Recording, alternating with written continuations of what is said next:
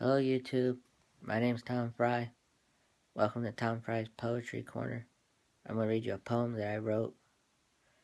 It's called Life's Ups and Downs. Through life, you will have ups and downs.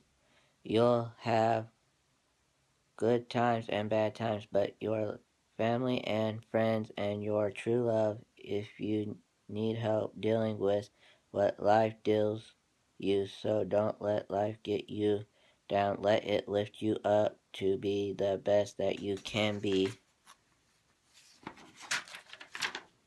So live life to the fullest and life live a great life.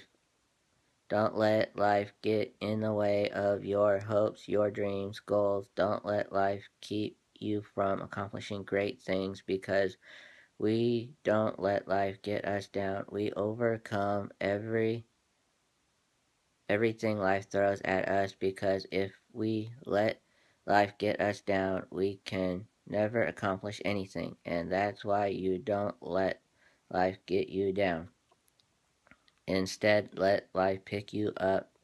So live life the best possible way you know and work hard and have fun and enjoy your life moments. Spend time with family, friends, your true love, and you will have a great life. Hope you enjoy that reading. Hope you enjoy that poem. There's more poems to come. Hope you like it. Subscribe.